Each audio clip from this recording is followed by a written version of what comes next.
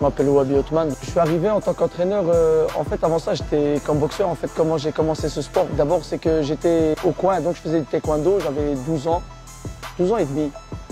Et euh, ce qui s'est passé, c'est que j'étais dans un coin et j'avais un ami qui s'appelle Mehdi Azarkan, qui lui-même d'ailleurs a un club de boxe. Euh, et j'en profite pour le saluer. Il m'a vu au coin, il m'a dit Ouais, Atman, tu fais quoi? Comme je faisais du taekwondo aussi un peu avec lui, il m'a dit Tu fais quoi? Viens avec moi à la salle. Je lui dis Ouais, ça, salle. Il m'a dit Ouais, une salle à Scarbeck. Je lui dis Tu fais quoi? J'ai dit taekwondo encore? Il m'a dit Non, je fais de la boxe thaïlandaise. Je lui dis C'est quoi ça la boxe thaïlandaise? Donc il m'a dit Va chercher un shirt et un t-shirt. Je dis Ouais, moi j'ai pas de matériel, j'ai pas d'argent et tout. Il m'a dit T'inquiète, on va faire plan B. Donc euh, je prends mon t-shirt, mon shirt, je prends un sac, je dis ça à personne. Et je me retrouve à Place Pavillon. C'était le premier Queensbury. Et euh, c'était juste à côté d'une boucherie. Déjà, c'était mystique parce que je me dis une salle à côté d'une boucherie, qu'est-ce qui se passe ici? Donc, je rentre et je vois des jeunes qui frappent. Qui... Et ben, j'ai découvert la boxe et j'ai aimé. Donc, j'ai aimé, j'ai pris quelques coups. Et on m'a dit, écoute, si tu reviens le lendemain, c'est que c'est bon, t'es parti. Si tu reviens pas, donc t'es pas fait pour ça. Donc, ça fait 20 ans que je reviens à chaque fois. Et à travers ça, voilà, j'ai boxé.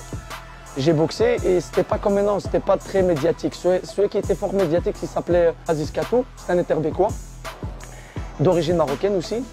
Et euh, il y avait lui qui était connu à ce moment-là de sa génération. Il y en avait un au point-pied qui est décédé maintenant, paix à son âme, Ilmaz Dimir Kapou, qui est d'origine turque.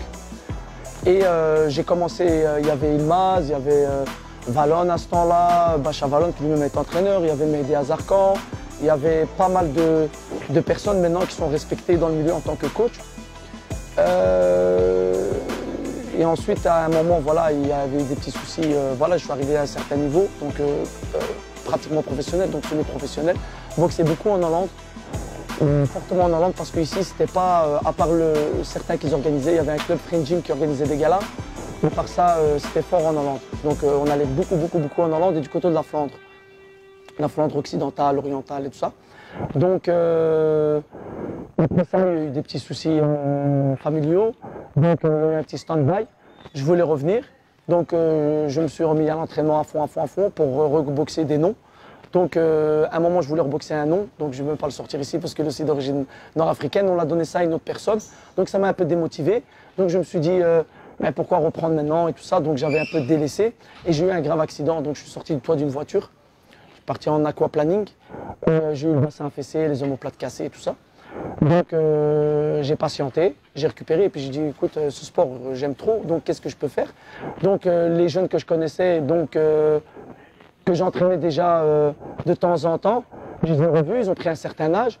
Ouais, pourquoi pas, est-ce que tu viendrais pas donner ton expérience chez nous et tout ça? Et puis voilà, je me suis retrouvé entraîné et à recôtoyer euh, les gens que je côtoyais dans la compétition. Ben, mon parcours professionnel, à la base, je faisais de l'économie.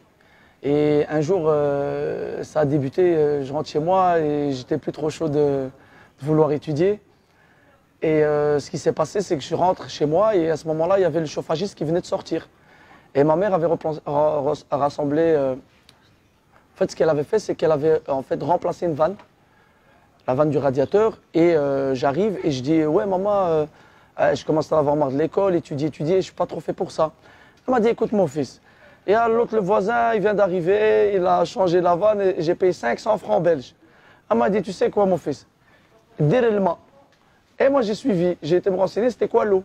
Je me suis inscrit comme euh, chauffagiste et j'ai fini mon parcours comme euh, chauffagiste. Et ce que j'ai fait, c'est que j'ai continué un patronat à l'INFAC comme technicien en HVAC. Et euh, ça m'a bien réussi parce que j'ai travaillé dans des grosses boîtes comme chez Amexpi et chez Imtech Maintenance.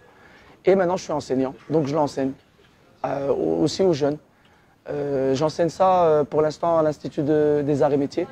Avant cela, j'étais euh, à l'Institut euh, de Notre-Dame, à Anderlecht. Donc euh, voilà, je suis toujours en contact avec les jeunes. Essayez de... La plupart de ces jeunes déjà sont des compétiteurs, donc ils ont déjà euh, une bonne base, donc ils pratiquent ça depuis quelques années.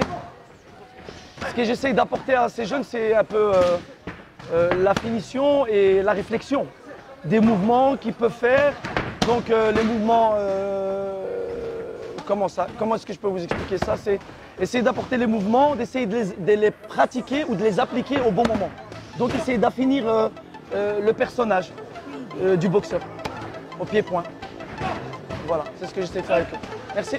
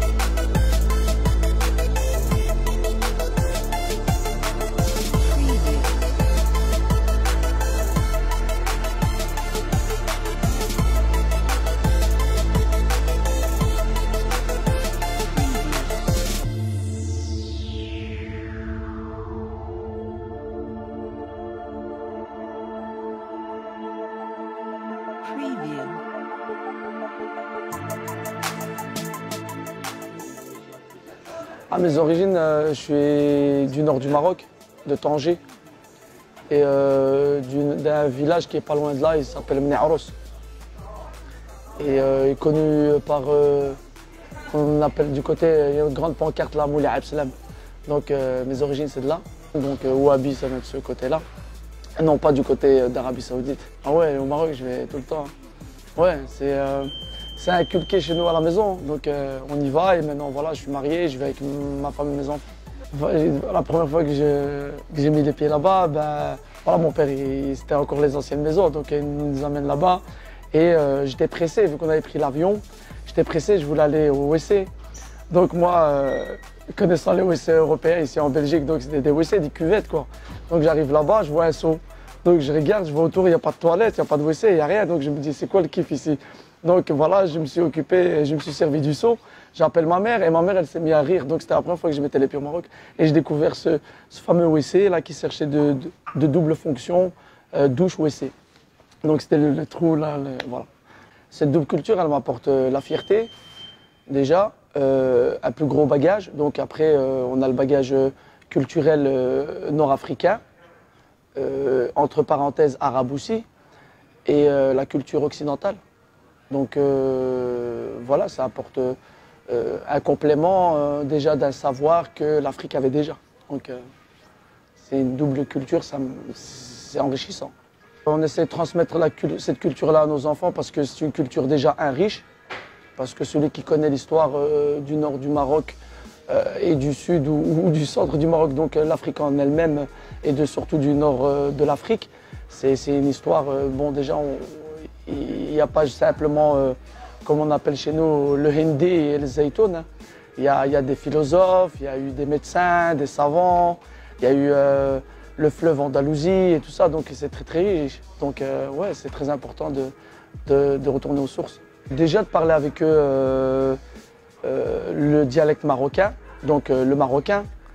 Ensuite, de voyager avec eux, de retourner aux origines, donc au moins une fois par an, selon les moyens de tout à chacun, parce que voilà, euh, c'est devenu malheureusement plus un voyage, mais un projet, parce que Maroc, ça coûte un peu cher.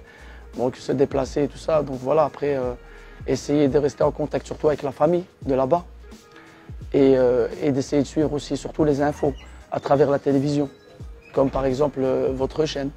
Maroc, il est high-tech et high-level. C'est bon, le Maroc, quand je suis retourné, euh, quand j'ai été la première fois avec euh, mon petite anecdote là de, ma cuvette, euh, ce qui s'est passé maintenant, c'est que ça a vachement changé. hein, maintenant, euh, on est bien. On n'a pas dit, on peut pas dire qu'il est développé, parce que le Maroc a toujours été développé. Donc, scientifiquement et mentalement et, et au niveau de la culture, ça a toujours été très élevé. On parle au niveau de la construction, donc les constructions de nouveaux bâtiments, l'accès euh, aux études, l'accès à la médecine, l'accès à plein d'autres choses qu'il n'y avait probablement pas avant et qui a maintenant. Donc euh, le Maroc actuel fait partie euh, déjà un du pays, je pense, le plus développé d'Afrique, et de deux, il, il est compétitif au niveau même européen. Donc le Maroc, ça ne peut plus être vraiment considéré comme un pays africain. Mais il fait partie de l'Afrique. Mais euh, le Maroc, c'est plus un pays africain. Parce qu'on a l'étiquette de, l'Afrique en disant euh, pays sous-développé. Non, le Maroc, c'est, euh, le Maroc, c'est. Hein. C'est Allah al-Watan al-Malik. Hein. C'est, le Maroc. Donc voilà. Je fais un, un gros salam à la famille, aux amis qui nous ont toujours soutenus et qui sont des amis fidèles. et à l'entourage surtout, parce que l'entourage c'est très important pour la stabilité de la vie. Et un grand, grand, grand, grand, grand merci et un grand, grand, grand salam à Canal Atlas. Salam alaikum.